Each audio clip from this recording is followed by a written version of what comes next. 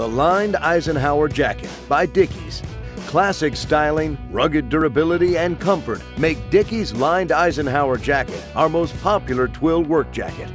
This lightweight yet warm jacket is constructed of 8 ounce poly cotton twill and is vat dyed for superior color retention. The warm lining is made of nylon taffeta quilted to polyurethane foam. This versatile jacket is both water repellent and water resistant and features two slash front welt pockets, adjustable tabs at the waist, and a pencil pocket on the left sleeve.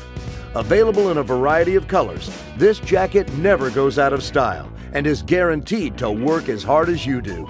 Dickies, quality workwear since 1922.